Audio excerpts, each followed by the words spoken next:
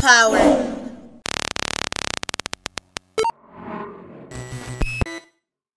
Okay, tunasema uh, karibu tena kwa uh, mazungumzo yetu ya leo ambayo tunaita ni talk show ambayo tunaenda kuzungumzia kuhusu uthamani, uzoefu na, na maana ya mahari.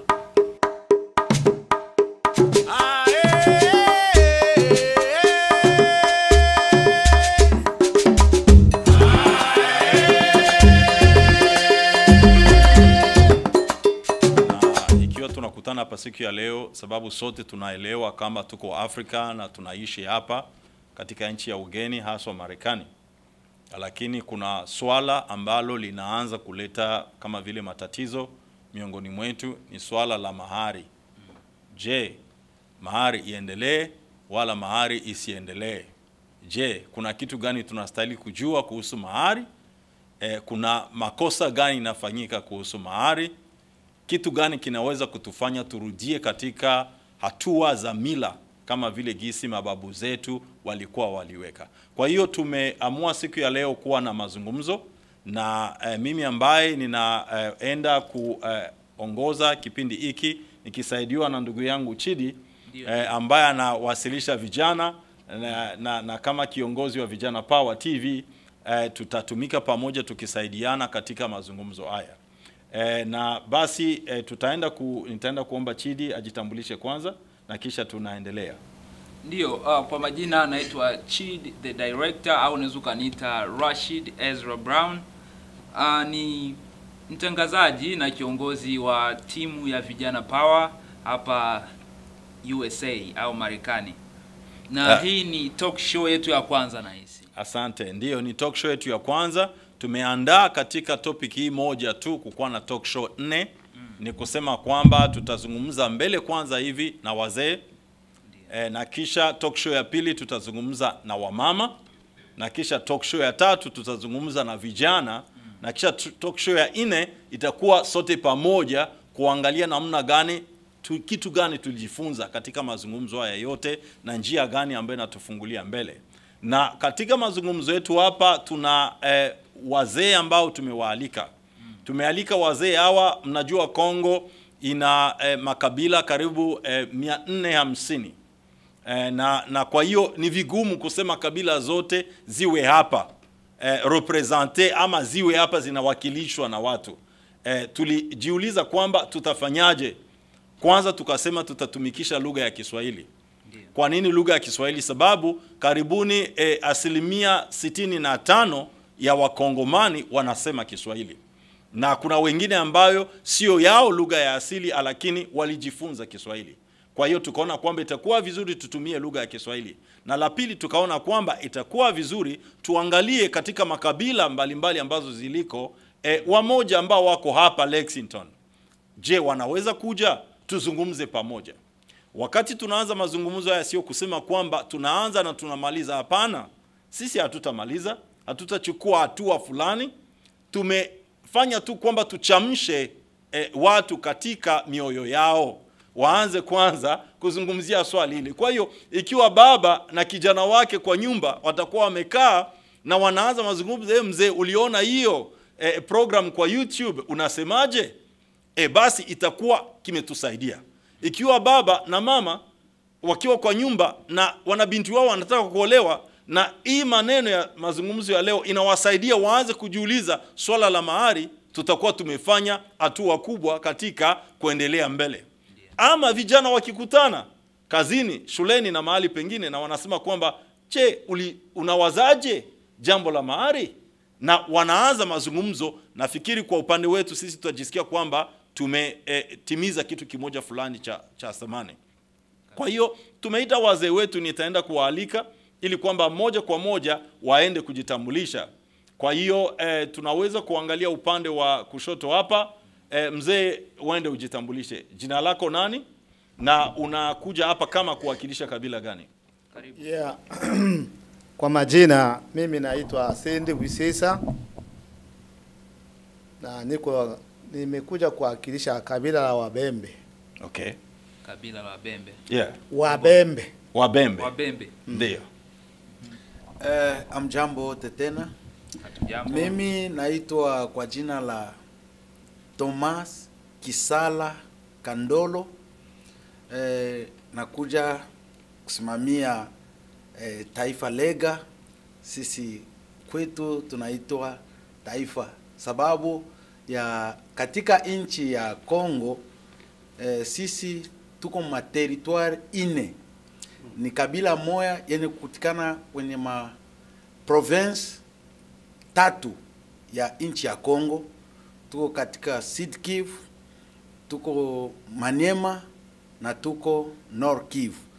Ni Mwenga, Pangi, Shabunda, Walikale. Asante. Karibuni, tunashukuru. Eh, tunaangalia upande huu. Aha, mzee unaweza kujitambulisha? Haya. Labda ungesogea kidogo. Uh, tunashukuru kwa waandaaji wa kipindi hiki. Ndio, ndio. Uh, kwa kweli ni cha maana sana, maana kitaleta changamoto nyingine katika jamii yetu. Ndio. Uh, mimi naitwa kwa jina la Shendera Esau, ni Mfuliru, mkazi wa Uvira Mlongwe. Asante. Yeah, niko hapa Lexington uhamishoni. Asante. Yeah. Mzee, Unasema tena jambo na kusema asante sana. Eh, Uh, tutandarudi kidogo juu ya labuda Swahili. Tutakuwa tunaongeza Swahili pia ya Kongo kidogo kidogo. ndio. Mahari wengine hawatasikia sawa, wataanza ifata. Tutasema mali tu. Kusema kwanza ni mali ya ndoa uh -huh. au dot mu, mu Kifransa. Tukiwa tunachanga vile itakuwa mzuri, watu watajua pale waziswali mingi. Mm, jina langu ni Mtume Joseph Mutayongwa. Nina represente au ninaasilia kwa ajili ya kabila inaitwa Bashi. Asante. Bashi. E, na mzee hapa? Yeah. mm -hmm. uh, tunashukuru sana kwa waandaaji wa kipindi hiki Ndio. ya Power TV pamoja na mchungaji mwandalizi Pastor Philip Emedi kwa kuweza tena kutukaribisha kwa talk show ya siku ya leo. Asante sana. Mimi naitwa uh, mchungaji Boaz Ebunga. Mimi ni Mbembe Mbondo. Nakuja kwa sababu ya kuweza kujibu maulizo ambayo tutaulizwa kuhusu habari ya ndoa na mahali au dot. Asanteni. Asante. Eh, kwa hiyo tuna tutaenda kupanga hivi mazungumzo yetu ni kusema kwamba tuna maswali fulani fulani tutaenda kuwauliza wazee mm. na kisha baada ya yale maswali tutakuwa tukisaidiana na, na, na director Chidi Yes. eh, katika mazungumzo yetu. Kwa hiyo tutaenda tukiuliza maswali hayo. Eh, tunapouliza swali la kwanza tunaruhusu kila mmoja wa wazee wetu kuzungumza kwa dakika mbili mm. kwa kila swali. Tunajua kwamba tukizungumza kwa muda mrefu sana, historia mrefu, zitachukua saa mingi na maswali yuko karibuni kumi, na tungependa tufikie pale kwa, kwa uzito wa mambo. mm -hmm. Sawa. Sasa kwa hiyo eh, tuwe wafupi katika masemi yetu, tujaribu kuenda kabisa kwa pointi ya kile ambacho tunachotaka kukizungumzia, na baada ya hapo tutakata kiwango fulani, tutapatia pila wale wote ambao walikuja eh, kama audience yetu kuwa pia na muda wa kuuliza maswali. Kwa hiyo itusaidie tuwe na mazungumzo. Tafadhali, hatukuja hapa kupigana, hatukuja kwa magomvi, hatukuja kuvurutana kwa manguo, lakini hapana, tunakuja ili maneno yetu izungumze na tuelimishane, tuelewe na tuangalie njia gani tunaweza kuendelea mbele. Kwa hiyo tunaenda kuanza na swali letu la kwanza. Swali letu la kwanza linasema hivi: kuna aina ngapi za ndoa katika kabila lenu? Na la, la kufuatia linasema nini hapo juu? Uh, la kufuatia linasema kwamba unaweza kutaja hizo uh, aina za ndoa. Asante. Kuna aina ngapi za ndoa? Na je, unaweza kututajia zile aina za ndoa katika kabila yenu? Watu wanaoana kivipi? Tuelewe kwanza hiyo, kisha tutaenda kuingilia kwa swali la kufuata. Sijue nani ataenda kutuanzia. Nafikiri- Yule yuko tayari tu. Nafikiri tutaanza kwenye mkono wa kushoto hapa ili tuje hivi kama tulivyoanza mwanzo. Haya, Maswali ni, ni nani yule mwenyewe yuko tayari anajibia. okay. Swali sio vile. Mbo, mimi naweza nikasema tu sawa, swali inasema kama kuna aina ngapi ya ndoa. ndio Hmm. Mimi kabisa gisi mimi najua mkabila zetu muna aina tatu za ndoa. Aina tatu. Eh. Ndoa ya kwanza nitazitaja moja kwa moja. Ndio. Ndoa ya kwanza ni ile ya kwenda wafiwa banakutana mubara banalendezana. Ili naenda kuwa ndoa moja kwa moja. Yaani kurendeza. Kurendeza. Ndio. Ndoa ya pili, yani banaitaka hayo muruga yetu ya etale. Etale. Eh, Yaani kunyakua. Banatia mali leo ni ile siku wanabeba mke wao. Ili inakuwa ndoa ya pili. Ndoa ya tatu ni ile watu wote wanakusanya, wanakusanya, banakusanika, kunakuwa maombezi, bapasta wanabariki, mtoto anaenda kwa bwana yake. Ili ndio ndoa ya tatu ambao inakwaka inakuwa muumina na desturi yetu. Asante. Bwana Yesu asifiwe. Haya. Eh, nashukuru sana. Naweza sema kwe, kwenye kabila yetu ya Walega mm. kunaweza kuwa hata aina tatu au ine ukisema mkirefu.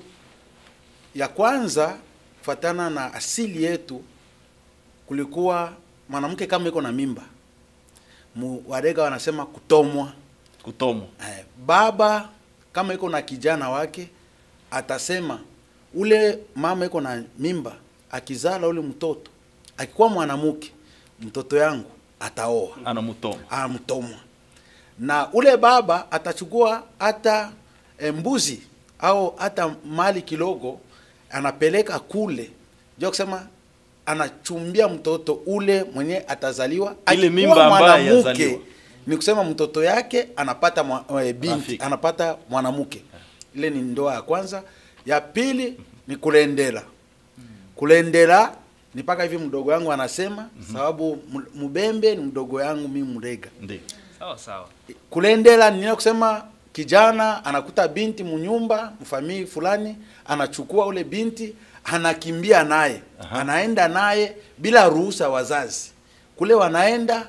Sasa huku watabakia nyuma wanasema kama ule analendela na kulendela eh, kuna maswali nyingi zinafanyikaka kufatana na asili zetu. Kama yule binti alikuwa na vijana wa nguvu. Mm.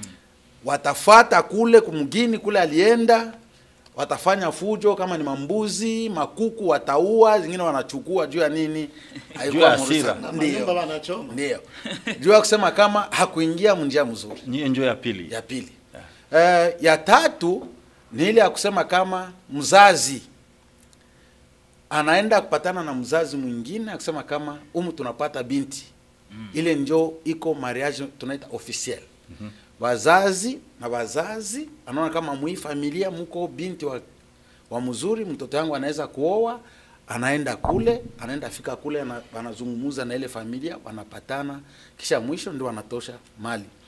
Eh, ingine tunaweza sema kuwa kubwa nayo ni ndoa ya kusema kama eh, mi, mimi nafariki na mdogo wangu eh, kisha mi naacha mke mm -hmm. kwetu kwa asili kuna gaga wanasema kupiana Piano.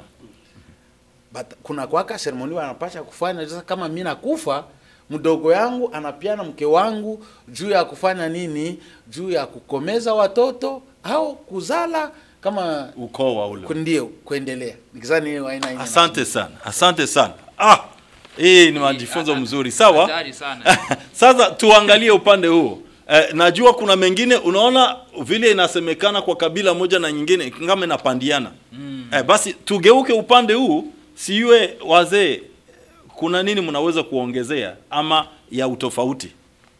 Ya, asante. Acha na mimi niendeleshe pale kwenye wenzangu wanaachia, ndio na mimi naweza kuongezea kama kwa upande wa asili ya Mbembe Mbondo, kama mm. vile mzee ametangulia kusema, nitaongeza kidogo, labda hakukumbuka ndoa ingine. Okay. Mm. Ah, mzee alisema kuna ndoa tatu kwa asili ya Wabembe wa Bondo.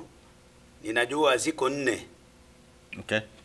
Ndoa kwa asili yetu ni nne, lakini kuna tofauti kidogo. Kuna ndoa mbili ambazo zinaitwa ziko halali, yani zinahalalishwa na asili yetu ya Wabembe wa Bondo, yani zinaruhusiwa kwa wazazi wa upande wa mwanaume na wa mwanamke, wanaruhusu au watoto ni mke na mume na kuna zingine mbili hazihalalishwi, yaani ni wale wa kuoa mwanaume na mwanamke wanajikamatia masharti wenyewe ya kuchukuana kama mke na mume bila kuhalalishwa na wazazi, na ndo hapo kunakuwa tofauti mbili. Ziko nne, lakini mbili zinahalalishwa na mbili hazihalalishwi, lakini nazo ni ndoa. Na hizi ndoa ya kwanza yenye kuhalalishwa ni ndoa inafanywa kwa harusi, yaani hiyo tunaitwa official, yaani inahalalishwa na watu wanafanya sherehe. Tunaitwa ndoa ya harusi kwa sababu kuna sherehe kubwa inaandaliwa ng'ambo zote mbili za baba au mama. mm. Na kuna ile nyingine inahalalishwa, ndo ile inaitwa mkibembe, inaitwa itali, yaani ina maana hakuna sherehe kubwa, lakini wanaweza kufanya kadogo kadogo hivi, na watu sio wengi wanaweza kuitwa wanaitwa upande wote wa baba na wa mama ama wa mke na mume, lakini sio wengi, na wanampeleka yule binti kwa taratibu tu kama vile walivyosikilizana Okay. lakini hakuna harusi. Na hizo ndo ndoa zinahalalishwa mbili. Zisizohalalishwa ni ile ya kwamba kijana na kijana wanakutana njiani huko wanachukuana kama vile wizi, anamwiba. Hiyo haihalalishwi, lakini ni ndoa hiyo inaitwa nini aleba aleba mkibembe njo Okay. inaitwa aleba. Na ile ya nne mzee alisahau ni ya kubebeshana mimba.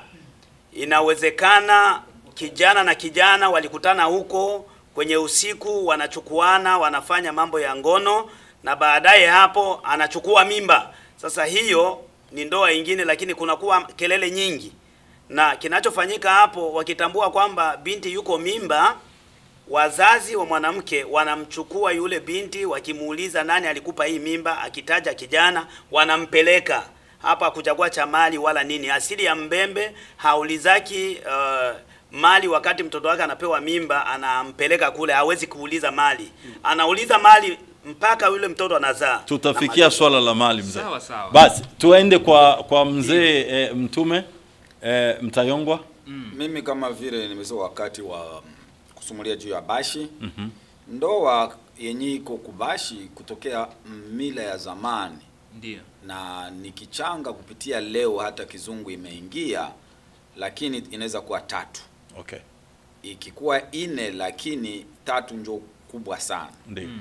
Kuna ndoa wanaita ndoa aramu Ndoa aramu ni ile yenye kijana amekuja, kulikuwa namna zamani pale, lakini kwa leo haifanyiki juu serikali imetia makima sana.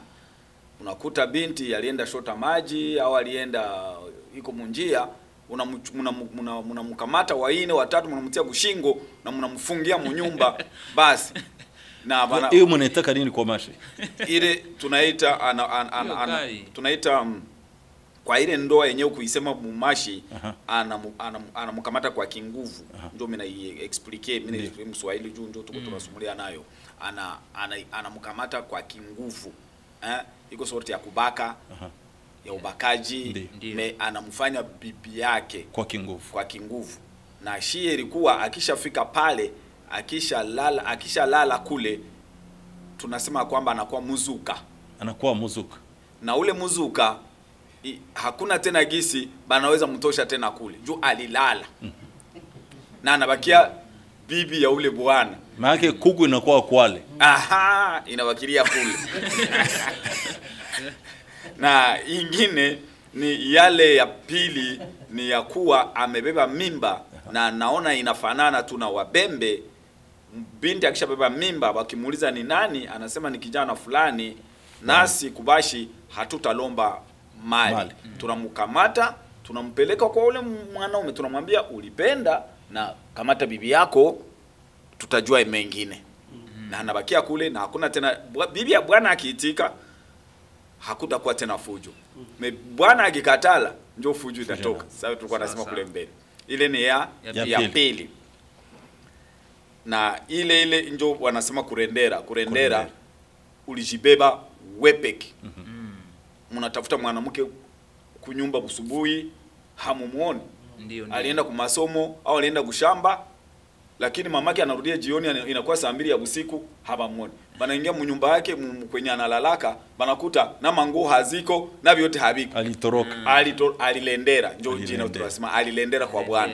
Naye banangoa sasa kesho yake busubuhi banapeleleza bayuwe piste gani alipita amo kusudi bayuwe kwenye iko. Naye hawezi mkamata. Juu naye analala kule. Naye anakuwa mzuka ya tatu sasa.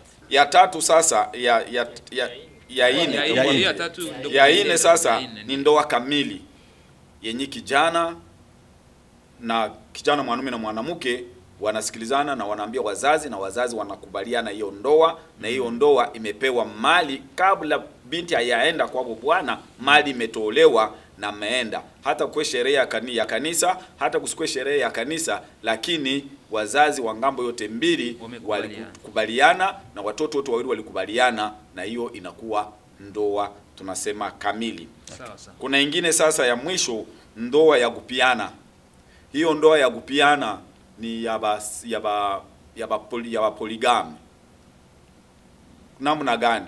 Mimi mloko yangu ana mkubwa wangu ana, ana, ana, ana mkubwa wangu anakufa au mloko yangu ana, ana, ana, lakini nakuwaga mie nikikufa mloko yangu anafanya nini? Anakamata bibi ya bibi yangu. Au Wow.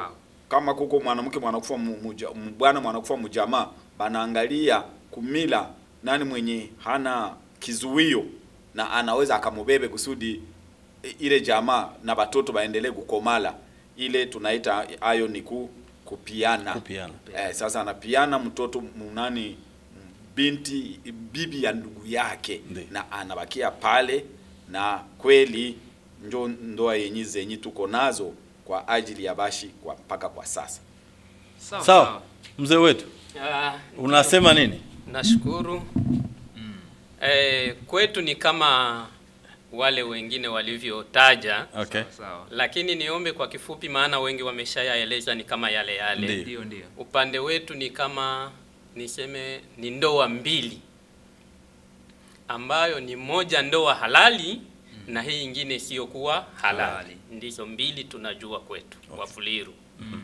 Ndoa halali ni yule wazazi wa mtoto mwanaume waliondoka wakaenda kuchumbia kwao mwanamke, wakatoa mahali kwa makubaliano yao, mm. wakamaliza, wakapanga mipango ya harusi, ikafanyika, wanakabidhi yule mvulana mke wake siku ile. Ndiyo. Inafanyika kwa macho ya wazazi wote, familia zote, kanisa na serikali.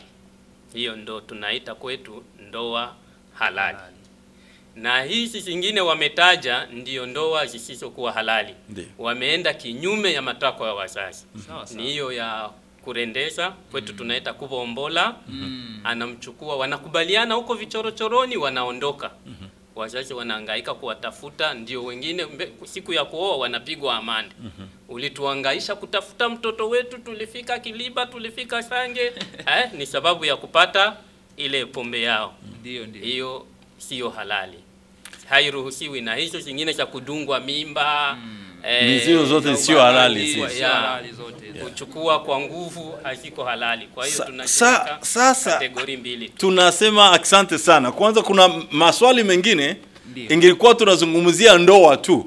Yo, kuna maswali mengine ambayo ingeingia hapa.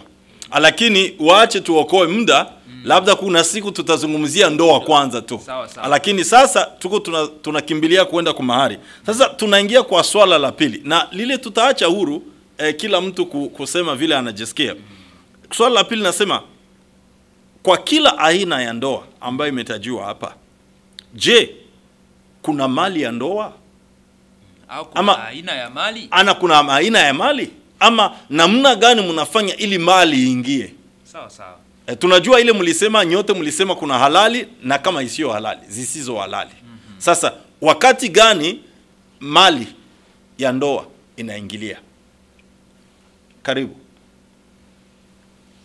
Munihurumie kwanza, mimi na naona ile swali sisikii vizuri. Ngoja niiweke sawa sawa. Muitie sawa sawa mm. juu Je, ni aina gani ya ndoa ambayo ina inaomba mahali? Je, hizo aina zote za ndoa ulizotaja zinahitaji kutolewa mahali au yeah. na, Na wakati gani zinapotolewa mahali? Sawa, kwa mfano nilisema ule wa kulena, nilisema mimi aina tatu Ndio. eh, na kukaongezeka aina ya ine, kweli nilikuwa naisahau, lakini naijua Sawa. eh, aina ya tatu ya kwanza ile ya kulendera akilendera, maana yake anakubali ku- ku- kuikaa na ule mtoto mwanamke mm -hmm. ilifuke atie mali Ndio. hata ikaa naye kwa bure atatia mali kwa wakati unaofaa, wakati wake ya, kama anishajitayarisha anatia mali. Hapa majuzi juzi tuliona mdo- mm, garsu wetu Epa alivifanya. Alienda rendeza binti wa wakubwa yetu Warega, na muda wa wiki mbili mali tukaenda tia dola elfu kumi. Bwana Yesu asifiwe. Mm. Kila kila waka, kila ndoa pale kuna tia kwa mali ya kubebesha mimba, sijue ya nini, sijue ndoa gani, zote mali zinatoaka kwa muda unayofaa. Kwa hiyo ijapokuwa kumeanza matatizo Aha. ama hakuna matatizo, Mpaka kuna mbinu zinafanyika ili mali itolewe. Itatolewa tu. Kwa nini na kwa nini Eh, itatolewa? tunakubaliana vile. Eh, nikizani kwa ng'ambo yangu, kwa ng'ambo kwa, yetu. sio kwa ng'ambo yako eh, ni ng'ambo ya ni ya, tuseme ni desturi ya asilia ya kwetu Ndio. sawa sawa Mila Eh, kuikala na mtoto wa mtu bila mali. Hii aina yote tunasema ikuwa ya mzuri na ya mubaya, mali inahitajika. Na kila mtu la anachukua binti wa, wa benyewe anapasha kupeleka mali. Sasa ile mali inatokaka ni wakati tofauti. Kuko mali ingine inakia kutoka. Kama unachukua ma, unasema ma, tunasema juu ya mali kwa bengine wanaenda kupeleka mali hata kaburi. Wakati mwanamke anakufa Wow. Na kuowaka mm. na familia inasema huyu hatutazika mpaka mali ifanye nini. Unaona tunatoaka mali sa vile eh, eh, asili ya kwetu hata ulibebesha mimba utatoa mali hata uliendeza utatoa mali ile mi najua kama bin, eh, mwanamke anaikalaka kunyumba ya bwana ah, awatoe tena mali inakuwa sele ya kupiana sababu ule mwanamke balimuowaka na wakati walimuowaka anaenda kule kunyumba e, iko kunyumba yake kisha bwanake anafariki. Wakati mdogo wa bwanake anataka kubeba e, sionake tena kama banaweza kuowesha ule mto, e, ule mwanamke saa vile binti mwenyewe anataka kwenda kunyumba. Jua alibakia ndani ya nyumba. Sasa ile mali mkutoa mali ndio inakaka tofauti. Kuko mtu mwenyewe atatoa mali wakati kunakuwa fujo na kuko mwenye anatoa mali wakati kuko salama. Na njo panakuwaka tofauti kubwa sana. Ule mwenye anatosha kwa shali, bengine bana bana banaweza kumu, kumwambia mbele utoe ya, saa zingine ya kuharibisha binti unamharibishia hivi na hivi utoe mbele hii. Yaani kabla atuyaleta hatuyaleta kama vile ni amande. amande. Kabla hatuyakukatia mali. Na ule mwenye anaingia kumulango anaenda kupeleka anaenda kukonkola anamfungulia mlango hawatamfanyia amande kizani wengine Okay. wanaweza Eh, wazee muna- munaweza kuongezea nini? Ni kuongezea tu Yeah, sababu tuende kwa sala ya kufuata. Ni kweli ndoa zote hapa zinatolewa mali Ndio. eh, lakini kuna tofauti kama vile wengine wameshawahi kusema. Ndoa yenye mali inaenda vizuri ni zile ndoa ziko halali kwa upande wa Wabondo, njo vile zile zinalalishwa mali inatolewa bila tatizo, lakini hizi zingine mm. kunakuwa kutoa mali na matatizo inakuwa, yeah. Ndio. ndo basi naweza kusema hii. Okay. na mi Eh, kama vile kubashi tutaongoza tutaongeza Ongeza. kidogo ni kusema kwamba hiyo mnasema kama bana amande amande haiko mali ile ni sisteme ya kusema amande haikwagi mumali mali ni ile yenye wanasema hiyo njo mali tunapana ni kado ni baraka kwa sisi na shie kweli kila ndoa yoyote inabidi kuwe na kupewana mali au mahari. Lakini inafika kwa wakati yenyi kuna ule alikamata na hata pataka kuleta mali na anabakia na ule mwanamke mpaka mwisho. Ni inabakia vile. Naye hautena mkamati kuna watoto tano sita kumi inabakia vile. Lakini ole wake ule bibi akikufa mbele yake. Ule bibi akikufa mbele yake. Eh, mbele batoshe mazi, mama maziko pale ile ile ile, ile kitumba iko pale. Banamwambia ti hapa. Hautazika huyu bibi yako kama ni bibi yako. Haiko bibi yako hautamuzika kabla hauyaileta. Kwetu wanaita nkulula muntu kulula muntu. eh, mtu alishakufa sasa unai- una, una, unalipa nkulula mtu abata kuitikia juu ulibakile masiku zote. Atulifanya miezi tatu atulifanya miezi tano. Kama ulikuwa tu uyapana mali na ole wake mwanamke akufe mbele ile wakati. Na niulize mzee, na sasa mwanaume akifa yule ambaye alikuwa yapana mali? Mwanaume akikufa yule ayapata mali Eh. yeye inapotea hivyo hivyo tu. Tu hakuna mwebatalipisha sawa Okay. sawa. Hakuna mwebatauza Naweza kujibu pale kwa ile ulizo. Ah, ndio. kama kijana mwanamke aliolewa na sawa vile alienda kwa ile manjia isiyokuwa halali alebao mimba na bwana akumuoa anawahi kufa. Mm. kwetu kubabembe ule mtoto atazaliwa akiwa mwanamke akiolewa bayomba yake batakula mali. Juu baba yake akuoa kwabo na ule mtoto abatabeba hata kidogo batabeba yote. Yani mali inaenda ku- inarudia yowe na mama yake hiyo, njo vile Wow. Eh, Kile tunatafuta kukamilisha hapa ni kusema kwamba tunaenda kutambua uthamani wa mali katika mila za Kiafrika. Mali ni ya lazima. Ni kusema mali ni ya lazima, inaonekana kabisa kama uwe umechukuana, usio umechukuana, muwe mumezungumza, muwe mumesikilizana, lakini nini, mali inaonekana kama iko. Haijalishi aina ngapi za ndoa ziko, lakini mali inaonekana kama watu wanajitahidi kwamba iendelee kutolewa hata mahali ambapo haikutolewa mbele. Sasa tunaenda kwa swali la tatu, eh, Bwana Rashidi, eh, chukua uh, swali la tatu. Swali la tatu linazungumza kwamba mahari ya ndoa katika kabila lako inahitaji nini au nani, yaani vitu gani, yani inahitaji vitu gani ambavyo unahitajika kutoa kama mahari? Kwa hiyo mtutajie kitu gani na kitu gani na kitu gani kinafanya mahali kawaida. Najua kunaweza kuwa utofauti, lakini mjaribu kutu, kutupatia mwangaza. Ndiyo. Okay, nita nita endelea mzee. Eh, kwa kabila ya Walega nataka kusema asili mbele vile Mulega alikuwa naoa. Mulega wakati alikuwa naoa kulikuwa mali akukuwa mbele makuta, kulikuwa mali ile tulikuwa tunaita mizaba Mizaba. mizaba au musanga ile njo ilikuwa inasimamia makuta na kama nakwambia utuletee musanga eh, makumi tano unapasha kwenda kutafuta ile musanga na hapa sasa ilishakubakia kubami ya walega beko na ile musanga Tusisitize kwa wale wasiojua makuta ni kusema ni pesa za Kongo za zamani, Ndiyo. kulikuwa frank na kulikuwa za chini yake ilikuwa makuta. makuta Ndio kusema frank. pesa. ha. wakati eh, wakilomba mali bataleta ile banasema mizaba au musanga ndio eh, ilikuwa inasimamia makuta frank. Mm -hmm. eh, kutoka pale kitu ingine warega walikuwa nalomba kama mali walikuwa nalomba mbuzi. Sababu sisi warega tunachunga mbuzi sana hatuchunge ng'ombe sana. Yeah. eh, ingine tunalomba tunalomba mupanga tunalomba shoka tunalomba chuma.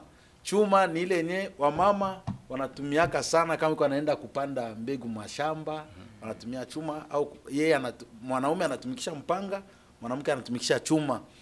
Na ingine tulikuwa tunalomba eh, sa vile kwetu wazee wa- wazee wetu walikuwa navala kitu kinaita sa vile nsaga ile ya mpe, ha? masamba.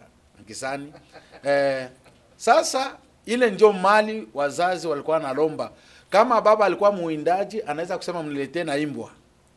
Ni kusema wakati ya kupeleka mali yeye analomba sasa mniletee imbwa na imbwa itapelekwa eh, ile njo bitu moya ilikuwa inahitajika sana wakati wa mali Okay. Asante. na kunaweza kwa kuwa wingine yule ya ile Yeah. me- yeah, Eh, ah, swali. tu- tutafikia pale tutafikia pale mzee kama una kitu cha ina- kuna utofauti Yeah. Ndio Mimi kwetu kwa Wafuliru kuna tofauti. ndio Sisi eh, mahali imepangiwa mm -hmm. na inatumiwa mifugo ni wa, wanaomba ni ng'ombe ine ine Ng'ombe nne. ama tatu kwa upungufu. mm. Sinabadilika kivipi?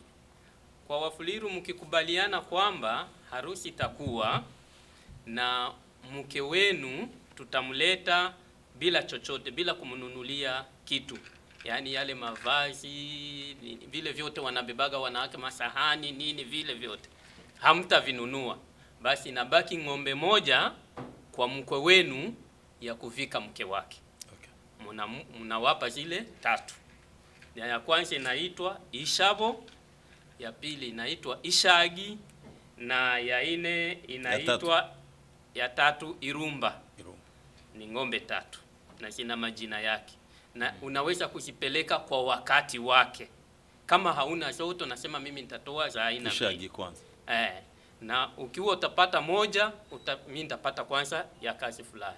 basi ndio hivyo zilipangwa, na ikiwa mlikubaliana zote ine, anaenda mzazi kwenye zizi la ng'ombe, anachagua, mnamweka pale, anachagua ine zenye amependezwa nazo, anapiga, anapeleka Sa, ni nani anachagua? Ni yule baba mkwe, baba mkwe, baba ya mtoto mwanamke, ndio anakuja kuchagua kwa au na mtoto mwanaume. mwanaume Kwa hiyo anaweza kukamata ile ingine azalaka watoto mingi. bila shida. Ana, kunachukuliwa dume mbili dume Na dike mbili, mbili. na dike moja. Hii nyingine ya ya kuvaa ni ng'ombe tu ya aina yoyote ile wanaweza kumpigia, ni ya mavazi ya mtoto mwanamke. Sasa niulize kitu kingine kwa kufuatilia. mm. Wakati mnapeana ng'ombe ama mbuzi, mnaweza kuleta mbuzi ambayo mimi naiangalia nasema mimi ni baba ya mtoto mwanamke nasema hii a a sitaki. Uh, ng'ambo yetu kama tunasema mbuzi Eh. Uh, hatu, hatuseme kama kila mzazi anapasha kuowesha na mbuzi eh, kumi mm -hmm. kila mtu akuowesha ni mbuzi kumi hapana mbuzi banakata kufuatana na mzazi. Ndio anakata mimi mtanipatia mbuzi kumi hao utanipatia musanga makumi tano. Mwingine anaweza kuambia kama mi utanipatia mbuzi tano musanga tano. Haiko eh, walega sio kama ni desturi mtu wote anapasha kukata mali sawa Kiwango sawa. me kuna bitu bile mtu anapasha kuweka kwenye mali sawa vile mulega musanga ile mizaba inapasha ikue pale mbuzi inapasha ikue e, chuma inapasha ikue e, nguo ile inapasha ikue. Na mpanga. na mpanga ile ni asili ya mulega ile inapasha kuwa. Sasa kama anasema ke, mwingine anasema kama utaniletea mbuzi makumi mbili ile ni yeye sasa. Me mbuzi inapasha ikue. Anasema kama utaniletea musanga ile makuta bwingi fulani ni yeye yule mzazi me hapana kama kabila yote ya mulega anaowesha kuhesabu moya hapana hesabu ni tofauti Okay. Eh, tuangalie kwanza uh, kwa kabila uh, zingine. Eh, unaweza kuongezea. ni niseme tofauti na wenzetu Warega kwetu Aha. kuna kama umemaliza kuoa mm. kuna mbuzi hizi mbili wanatia juu ya ile ng'ombe tatu ama nne. Ile inaitwa mbuzi ya ya kukabidhi ile mali mletoa. Ile mbuzi itaendea moja takula wajomba mtoto mwanamke. Sawa sawa. Na nyingine takula familia na waalikwa wote. Pamoja na vile vingine vyakula vya kawaida. Na mtungi wa pombe. Asilia mbele ilikuwa ni mitungi hivi ya makreti ya masoda na nini havikuwepo. Mtungi kabisa wenyewe umefungwa kalijani juu ndo inaonyeshwa ka, kalijani kamgomba ndo inaonyesha kwamba hii ukiona na ubeba tu nasema huyu anaenda kuoa eh. Sawa mzee. Mnasema nini? Mnaweza kuongezea nini? Tunashukuru kwa hii swali na ya tatu. Aa, kwa nyongeza yetu sisi kama vile Babembe Babondo ndio ndio ah, mali kwa kabila letu inahitaji karibuni vitu vitatu. Okay. Kitu cha kwanza ni mali kamili, yaani pesa, na kitu cha tatu ni vitu vya mama e, cha pili ni vitu vya mama, na cha tatu ni vitu vya baba.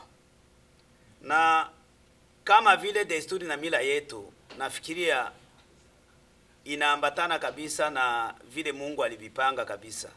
Juu hivi vitu tuliviangalia hata mkutime yetu wakati tulianza kusoma na mabiblia iko mu Genesis chapitre 24 kuanza verse ya kwanza mpaka yake ya mwisho wa makumi sita na saba.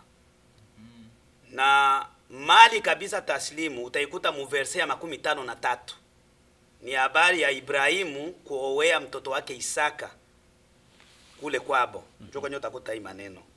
Kwa hivi mali kamili inasindikizwa na vitu vingine kama vile mbuzi, mbuzi tatu. Kwa hii mbuzi tatu kunakuwa mbuzi ya baba, ya baba mtoto na mbuzi ya wajomba na mbuzi inaitwa ya bana baba achi, yani bale benye baliowea ile familia yenye nakuya kuoa ama kupeleka mtoto mwanamke wakwe wale wakwe eh, benye baliowea mwele ingine familia eh, banapaswa kuwa na bona mbuzi yapo. Kwa sababu gani? Wakati ule mtoto mwanamke iko naolewa kutakuwa michango mbalimbali italombwa mufamilia na bale benye balitangulia kuwa mwa ile familia beko na michango bataleta. Ilifo baba honore baba heshimishe kubapatia nabo mbuzi. Juu bafanye ile kazi. Eh, na ile njo inaitwa ile yenye nasindikiza mali ile mambuzi tatu njo inaitwa ngulo. Ngulo. Ngulo eh, au ikulo. Okay. Na ni wabembe. Wabembe hao. Na kuvitu vya mama mama anaweza na kwa mali tuseme hapa kwa mali mali inaweza kulombwa kwa kadiri vile mzaji anataka yeye mwenyewe. Eh, yeye ndo anakata mali. Haina aseme tunaweka mali munivo sie bote moya hapana. Ni kila mzazi vile anajisikia. Anaweza kuongea na mke wake wanasikizana mtoto wetu tutamuoesha hivi. Na banafanya vile. Na hapo hapo kuna shida moja katika kuowesha kwa sisi wabembe wa Bondo, zamani wazee walikuwa vizuri zaidi ya sasa. Sipendi kuingia kwa sasa sana, walikuwa vizuri sana kwa sababu walikuwa wanasikilizana. mm -hmm. Lakini hapa katikati niliona batu wasikilizanake tena, sawa vile gisi tulikuwa kwetu kabla hatuyafika hapa. mm -hmm. Ile neno ya kusikilizana naanza kuiona hapa, ndio naanza kuiona hapa Marekani kidogo hapa lakini kwetu hapa katikati hapa kwenye tulikomala tulianza kuona kama mtu unaenda kuchumbia banakata mali aujue batakukatia ngapi lakini zamani bazee balikuwa naonana juu zamani ilikuwa ule mwenye anataka kuoa ni mzazi ndio anaenda kuchumbia. Haina mtoto. Yeye ndio anajua nitachumbia mfamie fulani. Banaijua mzuri ile familia. Na kule nako kwenye banaenda kuchumbiwa banajua mzuri hii familia. Mm. kwa hivi bazazi bawili banaongea na banajua vile bataoana. Kwa sababu zamani ilikuwa hakukuwa pesa ilikuwa ni ile yenye banaita biika mm-hmm. ilikuwa ni chumvi mm. yenye nafungwa mu vitu vimoja vyenye kusukwasukwa hivi sijui nitavieleza je mu Kiswahili. Ndio biika. Hivi. eh sawa vile sawa hivi. Au kapu. Ah, na mbuzi. Njo vitu viwili vilikuwa na naoana pale. Eh. na hapa nyuma mu miaka yenye kupita njo biligeuka makuta inakuya mm. batu wanaanza kuoa na pesa. Sawa. Asante. Okay mzee. Mzee atupe kidogo. Tuambie kwanza kwa eh, basi tunasema asante sana kwa kuwa tunaona preske binaenda binakamatana lakini kusiku bashi tu, tu, prinsipe ya mushi ni nini? Prinsipe ya mushi ni kusema mwanamke akiwa binti anaolewa au unaoa haiko kuuzisha. Mm -hmm. ni kusema haiko kusema unauzisha mtoto hapana. Ni unapana zawadi tu kwa mtoto. Lakini kwa kuwa shie bashi tulikuwa watu wenye kufunga mangombe. Kutokea zamani pale mali au m, au mahari ilikuwa nini? Ilikuwa ngombe. Itakuwa ye ngombe tatu, ngombe ine, ngombe tano, ngombe sita, ni kufatana sasa na kadiri ya ule mwenye anakuya kuoa. Banaangalia yenye tunaita katika Kifaransa la classe sociale. Kama ni mfalme, mfalme hawezi uoa kama mtu wake kwetu hapana. Kama ni mfalme mwanakuwa kukuoea weye, inabidi alete umate wa ngombe kadiri atapenda. Anaweza aleta makumi mbili, unaona zinatambala hapa kote, yeye ni mfalme wa kiwango Ah, yake. Natoza mali kutokana na kiwango cha pesa cha mtu. Cha mwe ya nguvu ya gesi, wewe unafuga.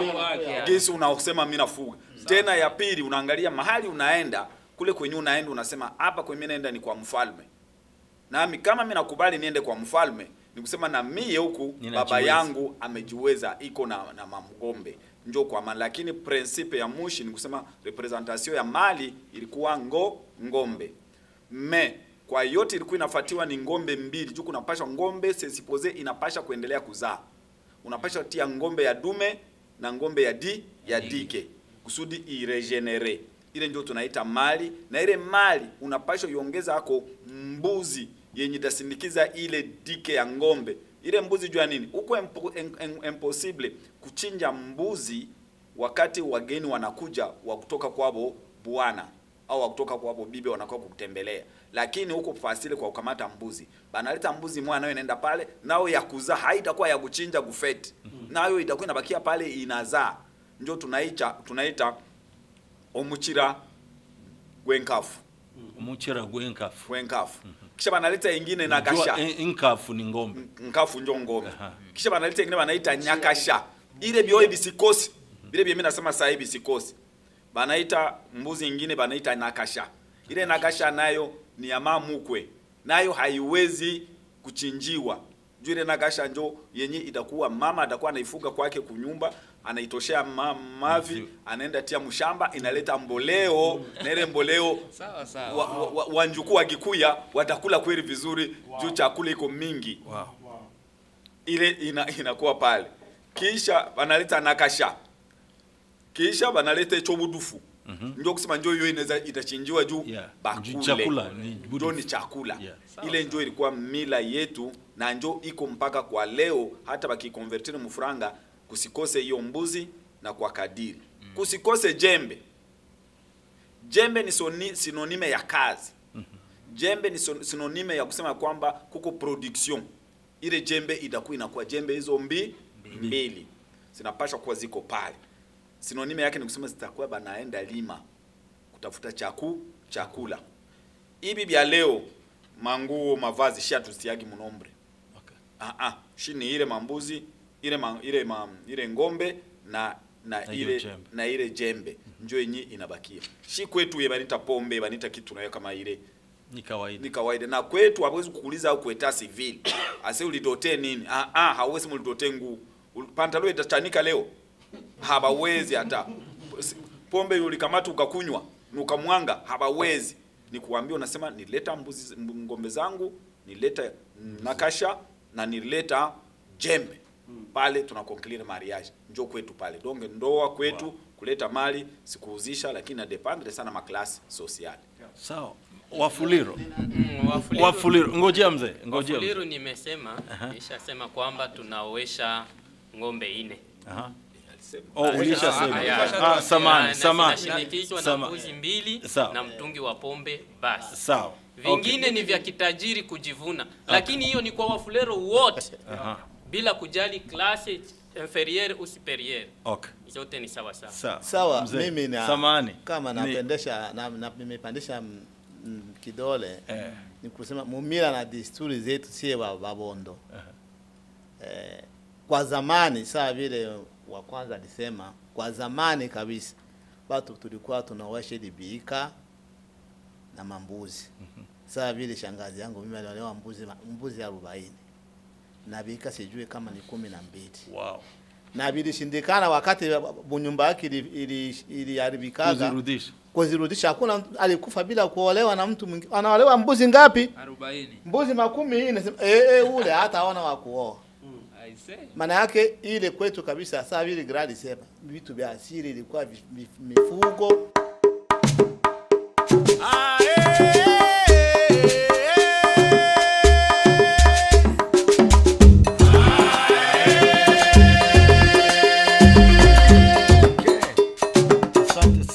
Tena sana, ilikuwa kabisa program nzuri sana mchungaji. Yeah, yeah. Mm. Ilikuwa mzuri na tunamshukuru Mungu kwa ajili ya wazee ambao wamekuja na kuweza kutuzungumzia kuhusu swala la mahari. Kabisa kabisa, tulipokea kabisa wisdom nyingi sana ya tradition yetu ya Waafrika, ya Wabembe, ya Wafuliro, ya, ya Bashi Ya Warega. na tuli, Warega. Tulibarikiwa sana kabisa. Ha, Kwa hiyo tunawaambia wote kwamba hii ni mwisho wa part 1 yetu, lakini msikose kuangalia part 2 na pia wakati ambapo mnapoangalia part 2 mnapomaliza mwisho subscribe.